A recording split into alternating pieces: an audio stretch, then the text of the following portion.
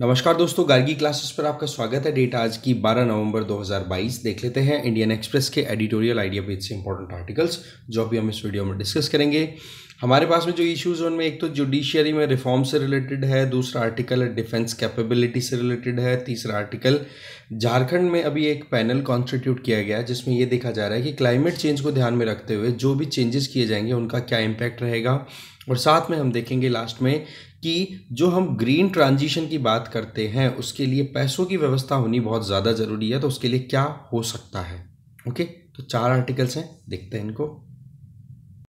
First article है a court of the future article को लिखा है फालियास नरीवन जी ने। देखो, यहाँ पर अपनी तरफ़ से ये कोट दे रहे हैं like old clock are judicial institution need to be oil wound up and set to true time भाई, सीधी सी बात है कि जब जुडिशियल सिस्टम पुराना होता चला जाता है तो उसको मेंटेनेंस की रिक्वायरमेंट होती है। तो ये स्टेटमेंट किसका है? Lord chief justice of England and Wales ठीक है? लॉर्ड हैरी वुल्फ उनके द्वारा ये स्टेटमेंट दिया गया था। बोले, ये कि ये बात हमारे जुडिशियल सिस्टम पे भी अप्लाई होती है। आज हम देखें, हमारे जुडिशियल सिस्टम को हम क्या कहते हैं? इंटीग्रेटेड जुडिशरी राइट तो उसके टॉप पे कौन बैठता है? सुप्रीम कोर्ट जिसकी पकड़ या फिर सुप्रीम कोर्ट के जो भी जजमेंट्स होते हैं, वो कहीं ना कहीं एप्लीकेबल होते हैं, सारे जो भी हमारे जुडिशल सिस्टम है, उन पर तो कुल मिलाकर के देखा जाए, चाहे हाई कोर्ट्स हो, जो कि हमारे देश में लगभग अट्ठारह हाई कोर्ट्स हैं, जिनका जेरिस्डिक्शन है अट्ठाईस स्टेट्स और आठ यूनियन टेरिटरीज में, और इसके अलावा बहुत सारे ट्रिब्यूनल्स हैं सेंट्रल और स्टेट लेवल पे, जो कि थ्रू आउट इंडिया फ़ंक्शन करते हैं, इन सब में सुप्रीम कोर्ट टॉप पे बैठा है, ठीक है? इन सब के द्वारा अगर कोई भी वर्डिक दिया जा रहा है तो उसके खिलाफ में अगर अपील करनी है तो सुप्रीम कोर्ट टॉप पे बैठा है। ये हम जानते हैं। इसीलिए हम सुप्रीम कोर्ट को क्या बोलते हैं highest court is all pervasive कि हर जगह पे अपना प्रभाव जो है, वो रखता है सुप्रीम कोर्ट तो कुल मिलाकर के बात यह है कि जब हमारा कॉन्स्टिट्यूशन लाया गया था तो कॉन्स्टिट्यूशन में जो प्रोविजंस किए गए हैं, वो क्या कहते हैं? कि अगर कॉन्स्टिट्यूशन में कोई अमेंडमेंट लाए जा रहे हैं, या किसी भी कोर्ट का कोई वर्डिक्ट है उन सारी चीज़ों को अगर देखा जाए तो यहाँ पर कहीं ना कहीं हाईएस्ट कोर्ट जो है हमारे देश का, उसके हाथ में बहुत सारी पावर्स रहती हैं। और सुप्रीम कोर्ट के द्वारा दिए हुए जो भी वर्डिक्ट्स हैं, वो बाइंडिंग भी होते हैं, ठीक है? चाहे दूसरे कोई भी कोर्ट्स हों या कोई भी अथॉरिटीज़ हो आर्टिकल 141 ये चीज़ कहता है। तो कुल मिलाकर के, चाहे कोई लेजिस्लेटिव ऑर्डर हो चाहे कोई एग्जीक्यूटिव uh, ऑर्डर हो कोई भी एक्टिविटी हो वो हाईएस्ट कोर्ट की स्क्रूटनी से दूर नहीं है ये हम जानते हैं अच्छे से। ठीक है? चाहे फिर वो कॉन्स्टिट्यूशनल अमेंडमेंट एक्ट ही क्यों ना हो। अब देखो बात ऐसी है कि कैसे हम हमारे हाईएस्ट कोर्ट को इफ़ेक्टिव बना सकते हैं ओके तो ऐसे में कुछ रिफॉर्म्स यहाँ पे बताए जा रहे हैं। सबसे पहला तो ये बताया जा रहा है कि हमारी जुडिशरी में जो इंस्टीट्यूशंस हैं चाहे वो हाई कोर्ट है हाई कोर्ट्स हैं सुप्रीम कोर्ट है इनको अपनी इंडिपेंडेंस इंश्योर करना ज़रूरी है। और इनकी इंडिपेंडेंस का मतलब क्या हो गया? जजेस को खुद को इंडिपेंडेंट बनाना पड़ेगा। ठीक है? तब ये इंस्टीट्यूशन ऑटोमेटिकली इंडिपेंडेंट हो पाएँगी। ठीक है? इसके लिए वो अपनी खुद की जो भी इमेज है, उसको प्रिजर्व करे। जैसे मान लो कई बार ये होता है कि करप्शन या फिर कह सकते हैं ना कि एम्बिगिटी का इशू आता है। या जजेज जो हैं, वो अपने हिसाब से अपने काम करते रहते हैं। कोई भी केस आता है जजेज से मान लो किसी एक एक्स वाई जेड जज के खिलाफ में कोई केस है तो उसको एडजुडिकेट करने में जजेज ही काम करेंगे।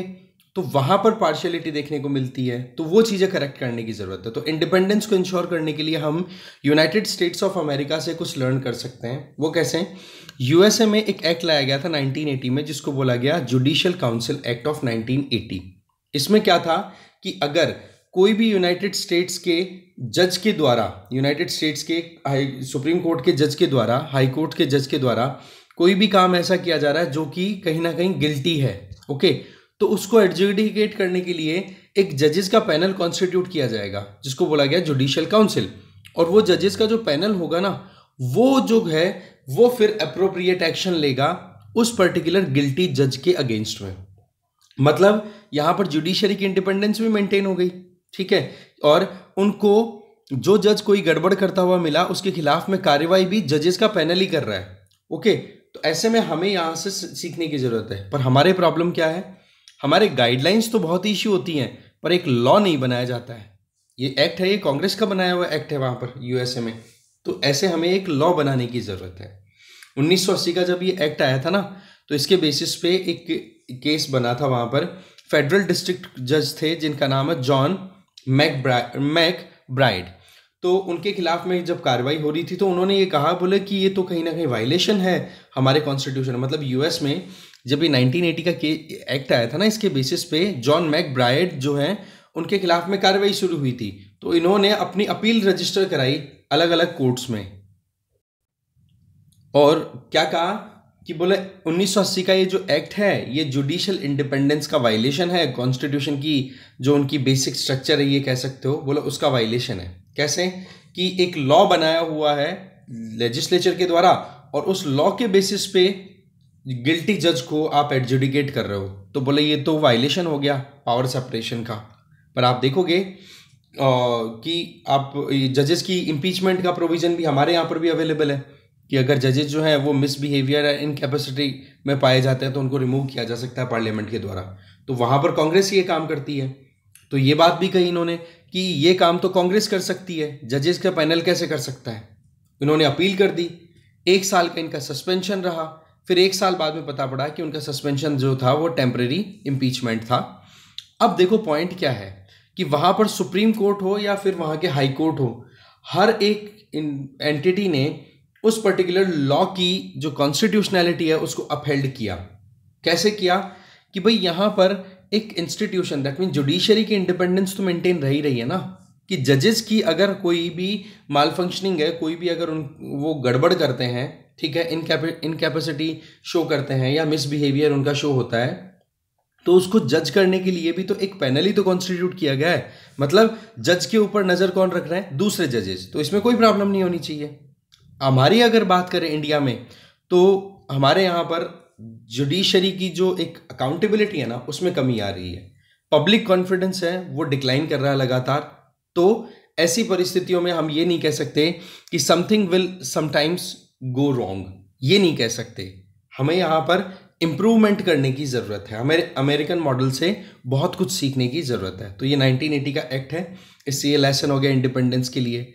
फिर बात आती है दूसरे रिफॉर्म्स की तो देखो, अभी तक हमारे यहाँ पर लॉ कमीशन के द्वारा लगभग 200 से ज़्यादा रिपोर्ट्स दे दी गई है।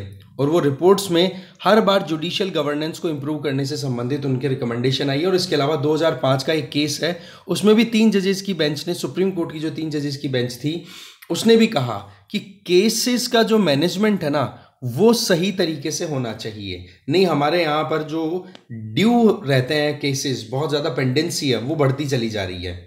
आप देखोगे कि इस 2005 के तीन जजेस की बेंच ने जो रिकमेंडेशंस दी थी, उनमें क्या बात कही थी कि केसेस को तीन डिफरेंट ट्रैक्स पे हमें टैकल करना होगा। एक तो फास्ट ट्रैक एक नॉर्मल ट्रैक एक स्लो ट्रैक वो डिपेंड करता है केस की ग्रेविटी पे। इस केस का नाम है the Salem advocate bar association case पर देखो कि हमारे यहाँ पर क्या ये ट्रैक सिस्टम फॉलो किया जाता है। फास्ट ट्रैक का मतलब स्पीडी ट्रायल्स नॉर्मल ट्रैक का मतलब जो चल रहा है उस प्रोसेस को कंटिन्यू और कुछ केसेस ऐसे होते हैं जिन पे जल्दी से वर्डिक देना भी रिस्की हो सकता है तो उनको स्लो ट्रैक पे डाल दो। पर क्या ऐसा कैटेगराइजेशन हमारे यहाँ पर होता है? No no. और ऐसा ही कुछ बा, बातें भी बोली गई है यहाँ पर लॉ कमीशन के डिफरेंट रिपोर्ट्स के बेसिस पे।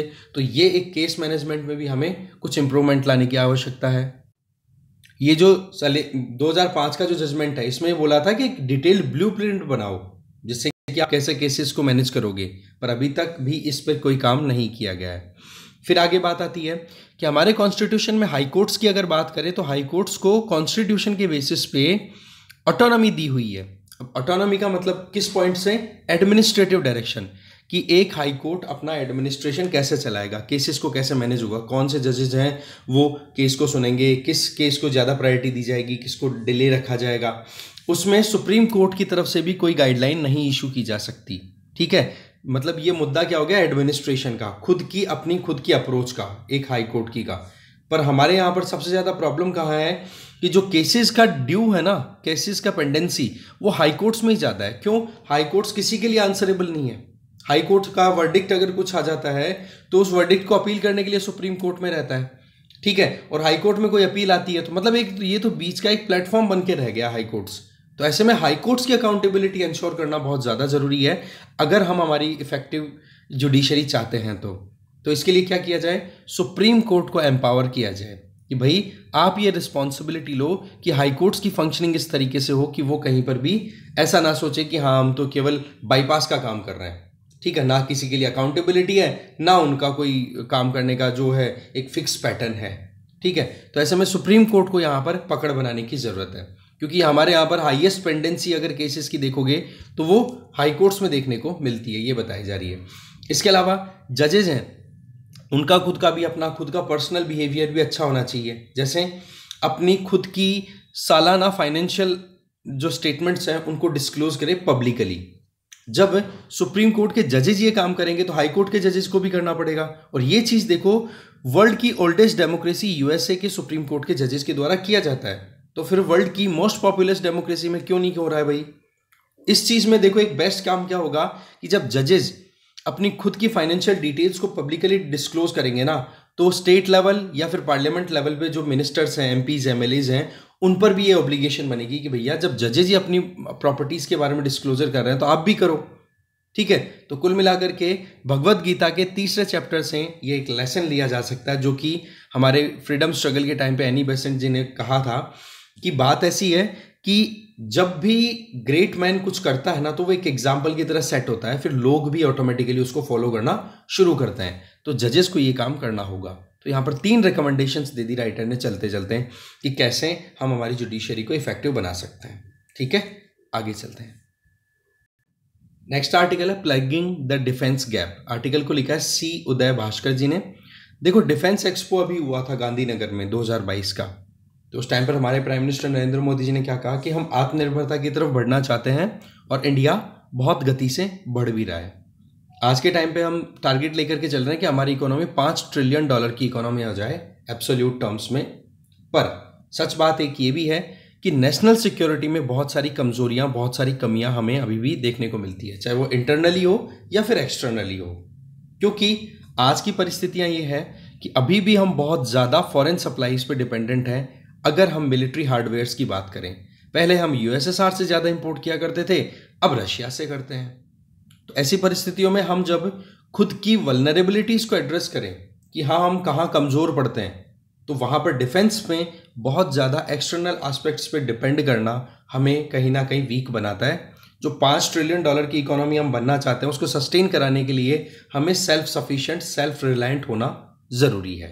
ठीक है? अब आप देखो कि एक मीनिंगफुल और credible strategic autonomy that means हम चाहते हैं कि हमारे ऊपर कोई भी बाहरी ताकत इस तरीके से दबाव ना बनाए कि जी, उनके हिसाब से हमें हमारे डिसीज़न लेने पड़े। हम हमारे डिसीज़न हमारे हिसाब से लें, हमारे नेशनल इंटरेस्ट में लें तो उसको हम बोलते हैं स्ट्रेटेजिक ऑटोनॉमी और उसमें भी एक मीनिंगफुल मैनर में और एक एक्सेप्टेबल मैनर में कि वर्ल्ड की वर्ल्ड कम्युनिटी उस चीज़ को रिकॉग्नाइज करे कि हाँ वाकई में इंडिया ने जो कदम उठाया, उसके पीछे बहुत बड़ा लॉजिक भी है और इंडिया के पास में स्ट्रेंथ भी है। तो ऐसी परिस्थितियों में हमें हमारा खुद का जो डिफेंस सेक्टर है, उसको स्ट्रांग बनाना पड़ेगा। नहीं तो हमने रिसेंटली एक टेस्ट लिया है, जो आपको पता है गलवान सेटबैक जिसमें चाइना ने हमें एग्रेशन दिखाया और उस एग्रेशन की वजह से कहीं ना कहीं बहुत पचास हज़ार से भी ज़्यादा हमारे सैनिक जो हैं, हमें डिप्लॉय करने पड़े थे लद्दाख वाले रीजन में। तो कुल मिलाकर के बात यह है कि हमें, हमारे ऊपर कोई दबाव ना बनाए। हम हमारे हिसाब से खुद हमारा काम करें तो उसके लिए हमें हमारी खुद की डिफेंस कैपेबिलिटीज़ को इंक्रीज करना होगा। वैसे देखा जाए तो हमारा डिफेंस एक्सपोर्ट है ना पिछले पाँच सालों में बढ़ा है। अभी तक हम पिछहत्तर कंट्रीज़ को डिफेंस मटेरियल है वो एक्सपोर्ट करते हैं इक्विपमेंट एक्सपोर्ट करते हैं। जैसे 2021-22 का अगर पर्टिकुलर डेटा देखें तो डिफेंस एक्सपोर्ट इंडिया से कितना रहा? 1.59 बिलियन डॉलर जो कि तेरह हज़ार करोड़ रुपए के लगभग हो जाता है। और गवर्नमेंट का टारगेट है कि जल्दी से जल्दी पाँच बिलियन डॉलर लगभग चालीस हज़ार करोड़ रुपए तक का डिफेंस मटेरियल या फिर इक्विपमेंट जो है हम एक्सपोर्ट करें आने वाले टाइम पर। तो कुल मिलाकर के बात क्या है कि सिल्वर लाइंस तो हैं, पर अभी भी बहुत पीछे हैं हम, जितना हमें आगे होना चाहिए था। आज की परिस्थितियाँ क्या है? रशिया ने यूक्रेन पे इन्वेट कर दिया, कोविड अभी पीछे हट रहा है ग्लोबल इकोनॉमी रिसेशन में फंसी पड़ी है रुपी जो है वो लगातार चैलेंज का सामना करना पड़ रहा है, क्योंकि सीधी सी बात है डॉलर लगातार स्ट्रांग हो रहा है रुपी कमज़ोर हो रहा है, हम बाकी आर्टिकल्स में देखते रहते हैं। तो ऐसे में जो हम एक डिफेंस मैन्युफैक्चरिंग इकोसिस्टम डेवलप करना चाह रहे हैं ना, ये सारी चीज़ें जो हैं, जो अभी हमने बात की, ये सारी चीज़ें मिलकर एक चैलेंज का काम कर रही है। हम इन्वेस्टमेंट को अट्रैक्ट नहीं कर पा रहे ठीक है? आपको पता है ना कि किस तरीके से फॉरेन पोर्टफोलियो इन्वेस्टर्स हैं या फिर जो भी इन्वेस्टर्स हैं, वो इंडिया की बजाय अब डेवलप्ड कंट्रीज़ की तरफ़ अट्रैक्ट हो रही है क्योंकि डेवलप्ड कंट्रीज़ में उनको इंटरेस्ट रिटर्न अच्छा मिल रहा है। ठीक है? तो कुल मिलाकर की बात ऐसी है कि हम आत्मनिर्भरता की तरफ़ जाना चाहते हैं तो हमें जो भी कमियाँ रह रही हैं हमारे हाफ़ पर, हमारे पार्ट पर, वो पूरी हो। वैसे अभी तक हमने इतना बुरा परफॉर्म भी नहीं किया है। रिसेंट अगर कुछ हम सक्सेस स्टोरीज की बात करें तो उनमें से एयरक्राफ्ट करियर आईएनएस विक्रांत का कमीशन करना S L B M that means submarine submarine launching ballistic missile जो कि आईएनएस अरिहंत से हमने लॉन्च करके टेस्ट किया, ये भी हमारा हो गया। इसके अलावा जो C two ninety five military transport aircraft है, उसकी मैन्युफैक्चरिंग के लिए हमने डिसीज़न फाइनल आउट किया है। इसके अलावा Prachand L C H that means light combat helicopter है उसको हमने इंड्यूस किया हमारी आर्मी में, हमारे डिफेंस सेक्टर में। इसके अलावा रशिया के साथ में हमने डील साइन किया, जिसके बेसिस पे Kalashnikov type light weight weapon जो है आर्म्स बंदूकें हैं गन्स हैं, वो हम हमारे यहाँ पर प्रोड्यूस करेंगे। तो कुल मिला करके देखा जाए तो ऐसी बात भी नहीं है कि इंडिया ने कोई प्रोग्रेस नहीं की है। प्रोग्रेस की है, पर सवाल क्या है कि अभी भी जो हमारा ऑब्जेक्टिव है आत्मनिर्भरता का, उसको अचीव करने में जो कमियाँ हैं, उन पर हमें काम करना होगा। हमारे सामने मेड इन इंडिया प्रोग्राम को अगर हम देखें ग्लोबल लेवल पे और ज़्यादा एक्सेप्टेबिलिटी दिलाना चाहें तो उसमें और क्या चैलेंजेस हैं? देखो, सबसे बड़ी तो बात क्या है कि हमारे यहाँ पर डिज़ाइन और मैन्युफैक्चरिंग कैपेसिटी अभी भी उतनी नहीं है जितनी हमें चाहिए। चाहे वो कॉम्बेट वेपन की बात करें या ऑफेंसिव वेपन की बात करें। ठीक है ना? मतलब कॉम्बिटेंट जो हमारा आस्पेक्ट होता है, जिसमें हम डील करते हैं सीधा वेपनरी के बेसिस पे, अभी भी हम बहुत ज़्यादा डिपेंड कर रहे हैं फॉरेन सप्लाईज पे। ठीक है? अब जैसे हमने बात की कि हम यहाँ पर C two ninety five aircraft वो प्रोड्यूस करने वाले हैं एयरबस के साथ कोलेबोरेट करके, ठीक है? अब यहाँ पे फ्रांस लिखा हुआ है, मुझे जहाँ तक ये ध्यान आ रहा है एयरबस का जो है, अब ये जो C two ninety five transport aircraft है, हम स्पेन के साथ कोलेब्रेशन में है इसमें, ठीक है? तो कुल मिलाकर के देखे जाए तो ये मैन्युफैक्चरिंग की बात हम कर रहे हैं। इसमें से एक सेगमेंट तो आएगा स्पेन से ऑलरेडी मैन्युफैक्चर्ड और बाकी यहाँ पर हमारे यहाँ पर डोमेस्टिकली मैन्युफैक्चर होगा। आप देखो कि इंजन एवियोनिक्स लैंडिंग गियर ये कई इंस्ट्रूमेंट कई पार्ट्स हैं इस एयरक्राफ्ट के, जो कि हम बाहर से बने बनाए खरीद रहे हैं। तो ये जो चीज़ है ना, ये डोमेस्टिकली होनी चाहिए, हमारे लोकल लेवल पे होनी चाहिए। ठीक है, चाहे हम 155 फिफ्टी एम आर्टिलरी गन है, उसकी भी डिज़ाइनिंग की बात भी करें तो वो हमारा लोकल होना चाहिए। तब जाके आत्मनिर्भरता पर हम इंश्योर या रिलाई कर पाएँगे, आत्मनिर्भर खुद को बोल पाएँगे। एक ऐसा इकोसिस्टम नर्चर करना बहुत ज़्यादा ज़रूरी है। और इसके पीछे एक लॉजिक क्या है कि क्यों हम डिज़ाइन और मैन्युफैक्चरिंग में पीछे हैं? देखो, हमारे यहाँ पर जीडीपी का, अगर हम बात करें ना जीडीपी का कितना हिस्सा डिफेंस रिसर्च एंड डेवलपमेंट में इन्वेस्ट करते हैं तो वो केवल पॉइंट सिक्स सिक्स परसेंट ही आ रहा है। इंडिया रिसर्च एंड डेवलपमेंट में बहुत कम पैसा खर्च करता है। ओके ये बात वर्ल्ड बैंक की एक रिपोर्ट के बेसिस पे हम बोल रहे हैं। तो ज़रूरत किस चीज़ की है? रिसर्च एंड डेवलपमेंट में जीडीपी के कंपैरिजन में हमें और ज़्यादा अलोकेशंस करना। ठीक है? वर्ल्ड का एवरेज है कितना? 2.63 परसेंट जबकि हम कितना कर रहे हैं? पॉइंट सिक्स सिक्स परसेंट तो कितना पीछे हैं? क्लियर इसके अलावा दूसरे कंट्रीज़ से कंपेयर करें तो इसराइल देखो 5.44 US 3.45 Japan 3.26 Germany 3.14 China 2.4 Turkey 1.09 Turkey से भी पीछे हैं हम, हमारे डिफेंस रिसर्च एंड डेवलपमेंट में इन्वेस्टमेंट की बात करें तो। तो कुल मिलाकर के हमें एक कंपोजिट कल्चर डेवलप करने की ज़रूरत है कि कैसे हम हमारे यहाँ पर छोटी से छोटी और बड़ी से बड़ी रिक्वायरमेंट्स को पूरा करने के लिए हम रिसर्च एंड डेवलपमेंट प्रमोट करें। ठीक है? डिफेंस सेक्टर में clothing helmet surveillance equipment BrahMos missile ये सारी चीज़ें हैं, इन पे हम काम करें तो ठीक रहेगा। फिर हम बात करें कि हेलीकॉप्टर्स के जो वेरिएंट है एएलएच या एलसीएच उनमें भी देखें। तो मैन्युफैक्चरिंग की तो हम बात कर रहे हैं कि हाँ जी इंडिया में एक हो रही है। पर सवाल क्या है कि क्या इंजन इंडिया में डिजाइंड है, इंडिया में मैन्युफैक्चर्ड है? आंसर इज़ नो इम्पोर्ट कर रहे हैं हम उसको। तो answer is research and development में हमें ज़्यादा फोकस करना होगा। और इस चीज़ से संबंधित जल्दी से जल्दी एक कहते हैं ना एडिक्वेट डिसीज़न लेने की ज़रूरत है। वो डिसीज़न मेकिंग बॉडी कौन सी है? कैबिनेट कमेटी ऑन सिक्योरिटी वो इस पर काम ले सकती है। ठीक है? इंडिया के पास में इंडस्ट्रियल डिज़ाइन और मैन्युफैक्चरिंग का जो सिस्टम है, उसमें कमज़ोरी है। साउथ कोरिया और चाइना ने जिस तरीके से प्रोग्रेस किया ना पिछले पचास सालों में एग्जैक्टली exactly उसी प्रोग्रेस को हमें इंश्योर करना था, पर हम वो बस मिस कर चुके हैं। पर वही बात है, देर आए, दुरुस्त आए, कोई लेटी लेट लतीफ़ी नहीं है। आज के टाइम पर डिज़ाइन और मैन्युफैक्चरिंग में सेमीकंडक्टर चिप्स पे बहुत ज़्यादा फोकस किया जा रहा है। आपको पता है, जो हम ग्रीन एनर्जी की बात करते हैं क्लीन क्लीन एनर्जी की तरफ़ स्विच करना चाह रहे हैं क्लाइमेट चेंज को टैकल करना चाह रहे हैं इलेक्ट्रिक व्हीकल्स की बात करते हैं सोलर पैनल की मैन्युफैक्चरिंग की बात करते हैं ऑटोमेशन की बात करते हैं आर्टिफिशियल इंटेलिजेंस की बात करते हैं, या फिर ओवरऑल मैं बात बोलूँ तो इंडस्ट्रियल रेवोल्यूशन 4.0 की बात करते हैं। तो कुल मिलाकर के सेमीकंडक्टर चिप्स में हमें देखा जाए तो आज यूएस और चाइना के बीच में राइवलरी भी इसी बात को लेकर के चल रही है। ओके एमएसपी ग्रुप जो है वो स्टैब्लिश किया गया यूएस की लीडरशिप में। उसमें इंडिया को मेंबर नहीं बनाया गया इंडिया कोशिश कर रहा है पूरी कि कैसे भी करके हम वहाँ पर अपनी पकड़ बनाएँ। तो ऐसे में ये एक एक और चीज़ है। तो रिसर्च एंड डेवलपमेंट हो जाए सेमीकंडक्टर चिप्स की डिज़ाइनिंग की बात कर दें। इसके अलावा अगर हम डोमेस्टिक कैपेसिटी की बात करें, उस पर ध्यान दें। इंडस्ट्रियल डिज़ाइन और मैन्युफैक्चरिंग इंफ्रास्ट्रक्चर वो अवेलेबल कराएँ, तब जाकर के डिफेंस रिक्वायरमेंट्स को हम पूरा कर पाएँगे और एक्सपोर्ट हमारा और बढ़ पाएगा। पर एक पैराडॉक्स यहाँ पर क्या आता है? मतलब एक कॉन्फ्लिक्टिंग आस्पेक्ट क्या आता है? क्या?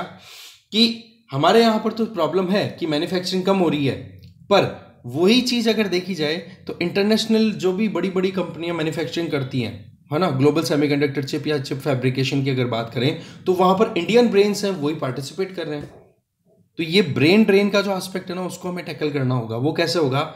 जब हम हमारे यहाँ लोकली मैन्युफैक्चरिंग कैपेसिटी को डेवलप कर पाएँगे। ठीक है? क्योंकि आप खुद देख लो, बड़ी बड़ी कंपनियों के सीईओज e देख लो। ठीक है? कैलिफ़ोर्निया में जो लॉस एंजलिस है लॉस एंजलिस ने मुझे नाम याद नहीं आ रहा, एक सेकंड में बताता हूँ आपको। हाँ कैलिफ़ोर्निया की जो सिलिकॉन वैली है, वहाँ पर बड़ी बड़ी कंपनियाँ ऑपरेट कर रही हैं। उन कंपनियों जो डिजिटल प्लेटफॉर्म्स पे हैं, टेक्निकल कंपनीज़ हैं, टेक्निकल जॉइंट कंपनीज़ हैं, उनमें लीडिंग रोल इंडियन ब्रेन्स कर रहे हैं। तो बोलो, इन चीज़ों को हमें तैयार करना होगा। हमें हमारे टेक्नो स्ट्रेटेजिक लैंडस्केप को डेवलप करना होगा। तब जाकर के हम आगे प्रोग्रेस करेंगे डिफेंस में भी और बाकी और। जो एस्पेक्ट्स हैं उनमें भी।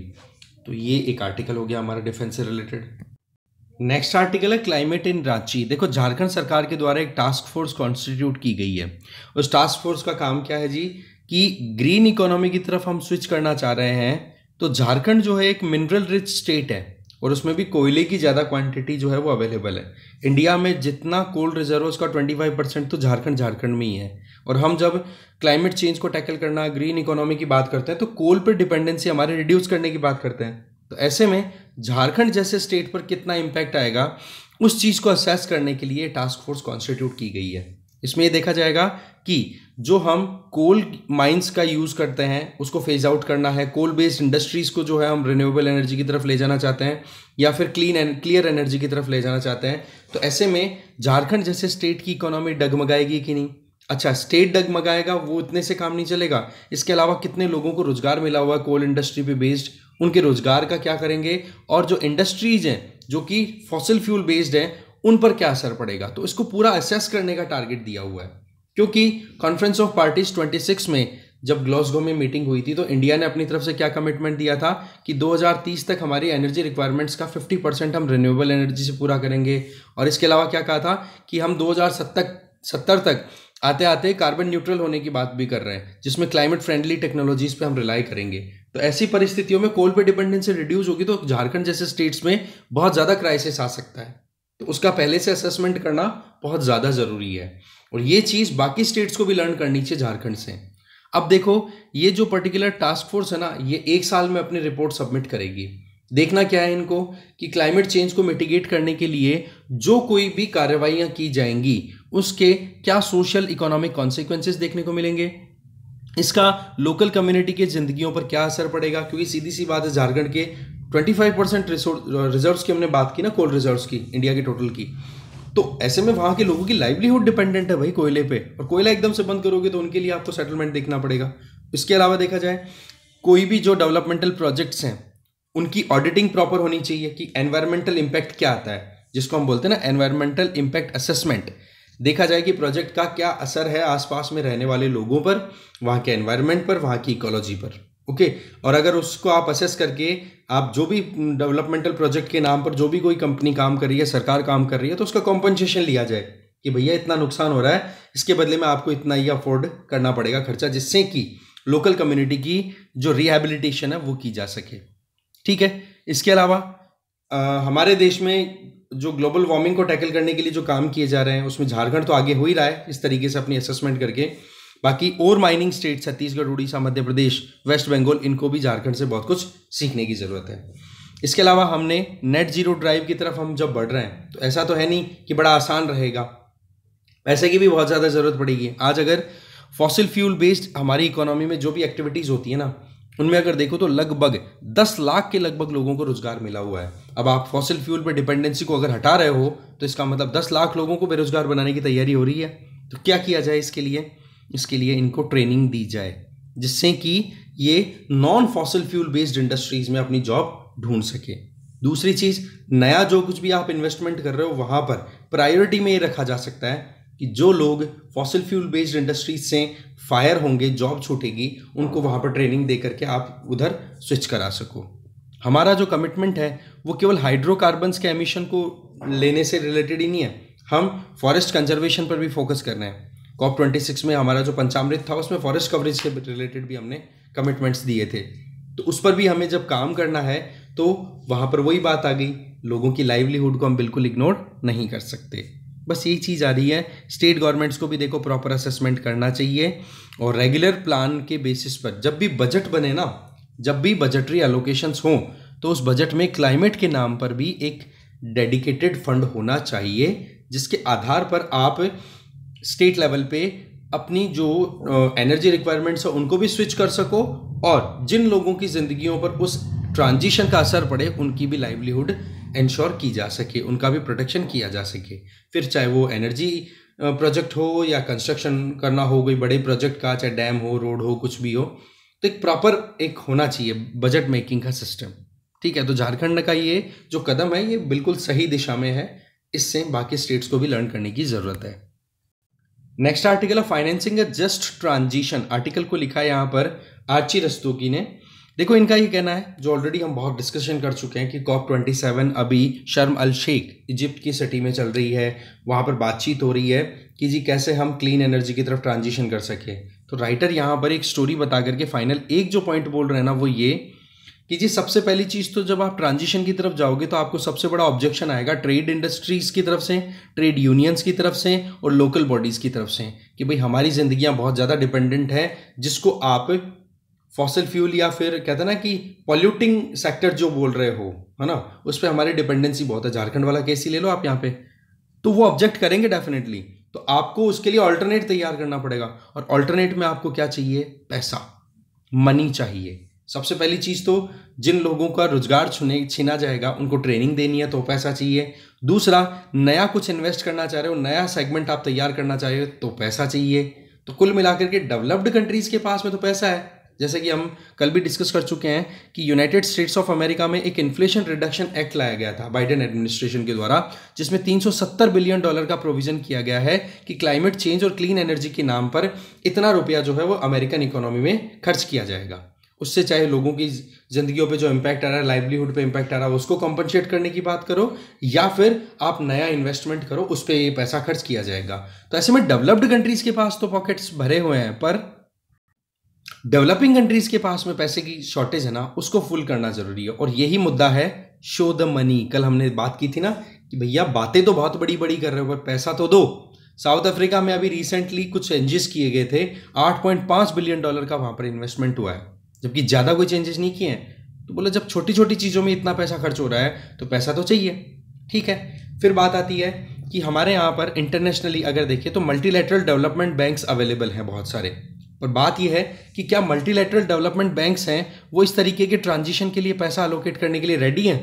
अब बातें तो वो कर देते हैं कि हाँ जी, हम अलोकेट कर देंगे क्लीन एनर्जी के लिए रिन्यूएबल एनर्जी के लिए, है ना? या फिर जो भी हमारा जस्ट ट्रांजिशन है उसके लिए, जिससे क्लाइमेट चेंज को टैकल किया जाए। पर वहाँ पर जब गवर्नेंस स्ट्रक्चर को देखा जाता है ना, जब डिसीज़न लेने की बात आती है तो पता पड़ता है कि वहाँ पर पकड़ उन लोगों की ज़्यादा है, जो लोग चाहते ही नहीं है कि कुछ चेंजेज हों। वो चाहते हैं कि हमारा जो मार्केट में पकड़ है, वो बिल्कुल वीक ना हो। ठीक है, जैसे हम कल बात कर रहे थे कि अमेरिका में सबसे बड़ा चैलेंज क्या है? इंटरनल पॉलिटिक्स वहाँ के रिपब्लिकन्स जो हैं डोनाल्ड ट्रंप की पार्टी के लोग, वो मानते ही नहीं कि क्लाइमेट चेंज भी कोई सच्चाई है क्या? तो ऐसा ही कुछ यहाँ पर भी ये जो मल्टीलेटरल डेवलपमेंट बैंक्स है ना, इन इंटरनेशनल फाइनेंशियल इंस्टीट्यूशंस में डिसीज़न मेकिंग में प्रॉब्लम आती है। तो इसके लिए क्या किया जा सकता है? बोला, हमारे पास में ऑलरेडी का आइडिया अवेलेबल है ग्रीन क्लाइमेट फंड बोला, इसको रिवाइवल दो, इस पर फोकस करो। इसके अलावा और कोई बढ़िया अपॉर्चुनिटी है नहीं, क्योंकि इसमें डेवलपिंग कंट्रीज़ है ना, उनका भी अच्छा खासा पकड़ है। ठीक है, उनका रिप्रेजेंटेशन भी अच्छा है। कमिटमेंट जो है डेवलप्ड कंट्रीज़ की, कि भाई एनुअली देंगे तो वो चीज़ वहाँ पर, इस चीज़ को दबाव में लाने की ज़रूरत है। ये है मेन मुद्दा यहाँ पर। ठीक है? डिस्कशन यहीं खत्म है। और एक आर्टिकल और है, वो आप खुद से देख लेना, जो मेनका गुरु स्वामी जी का है ग्रे एयर वाला, दिल्ली में पॉल्यूशन से रिलेटेड ठीक है? डिस्कशन नहीं करता मैं थैंक यू